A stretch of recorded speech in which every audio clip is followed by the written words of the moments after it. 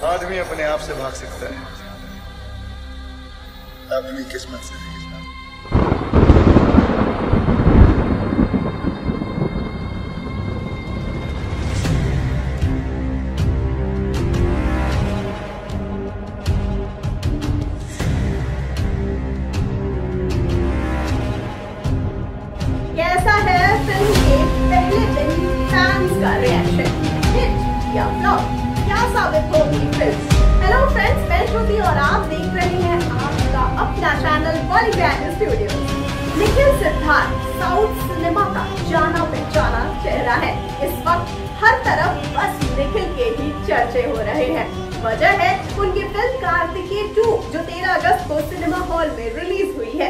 ये फ़िल्म काफ़ी वक्त से पोस्टपोनमेंट का शिकार हो रही थी और उस फ़िल्म ने आते ही हर किसी के दिल में जगह बना ली है। पर फैंस इस मूवी और निखिल सिद्धार्थ के नाम का हैशटैग चला रहे हैं। कई लोगों ने ये फ़िल्म देखने के बाद इसके रिव्यूज़ ट्विटर और दूसरे सोशल मीडिया पर शेयर किया है। जी हाँ दोस्तों, एक यूज़र ने फ़िल्म को पहले ही ब्लॉकबस्टर का टैग देते हुए फ़िल्म को माइंड ब्लोइंग बताया है और इसे पाँच में से चार की रेटिंग दे दी है। तो वहीं दूसरे यूज़र ने इस फ़िल्म को एक्टर निखिल सिद्धार्थ का अच्छा कमबैक बताया लोगों ने फ़िल्म को रिव्यू देते हुए नो ओनली कंटेंट का टैग दे दिया। जी हाँ जिस जिसने भी फ़िल्म का मॉर्निंग शो देखा है, उनके रिव्यूज़ फ़िल्म के अभी तक अच्छे ही रहे हैं। इसी के साथ फ़िल्म में बी टाउन के चहेते एक्टर अनुपम खेर जी भी शामिल है। जी हाँ सोशल मीडिया पर निखिल सिद्धार्थ और अनुपम खेर की एक्टिंग की जमकर तारीफ़ हो रही है। इसी के साथ ही वीकेंड पर रिलीज़ होने के चलते फ़िल्म को अच्छी खासी कमाई और पॉपुलैरिटी मिल रही है।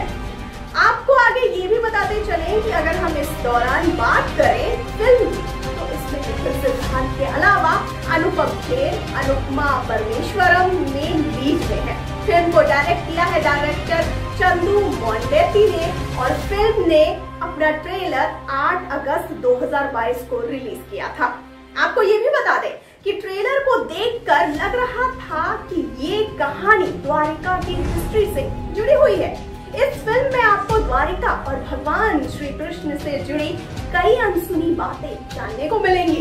इसी के साथ साथ निखिल सिद्धार्थ, डॉक्टर कार्तिकेय के रोल में कुछ सालों से द्वारिका की खराब हुई हालत को ठीक करने वहाँ पहुँचेंगे। जी हाँ फ़िल्म ने विजुअल इफ़ेक्ट म्यूज़िक सीन्स की रियलिस्टिक चीज़ों पर बखूबी से काम किया है।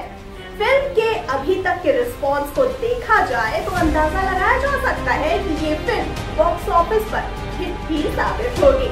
आपको ये भी बताते चले कि चॉकलेटी एक्टर डॉक्टर कार्तिकेय, यानी वीर निखिल सिद्धार्थ तेलुगु फ़िल्मों के यंग एक्टर पॉपुलैरिटी साल 2007 की फ़िल्म हैप्पी डेज़ से मिली थी, जिसके बाद उन्हें कई तेलुगु फ़िल्मों में देखा गया था। आपको इस क्रम में ये भी बता दें कि फ़िल्म कार्तिकेय टू साल 2014 की फ़िल्म कार्तिकेय का सीक्वल है। आपको ये बता दें दोस्तों कि निखिल सिद्धार्थ ने बीती रात को अपने ट्विटर अकाउंट पर ट्वीट करते हुए कहा कि उनकी फ़िल्म कार्तिकेय टू का फ़र्स्ट शो कुछ ही घंटों में शुरू होने वाला है। साथ ही उन्होंने सभी को इस फ़िल्म को प्यार देने के लिए कहा, क्योंकि उन्होंने और उनकी टीम ने फ़िल्म पर काफ़ी जमकर मेहनत की है और बाकी सब अपने व्यूवर्स पर छोड़ दिया। उम्मीद है सबको फ़िल्म काफ़ी पसंद आएगी। बात करें अगर निखिल सिद्धार्थ की पिछली फ़िल्म की तो उन्हें आखिरी बार साल 2019 में की फ़िल्म अर्जुन सूरावरम में देखा गया था। जी हाँ दोस्तों, कुछ लोग जो ये फ़िल्म देख चुके हैं, वो तो इस फ़िल्म और निखिल सिद्धार्थ को सुपर हिट ब्लॉकबस्टर बता ही रहे हैं। पर आपको ये फ़िल्म कैसी लग रही है? आपकी क्या राय है?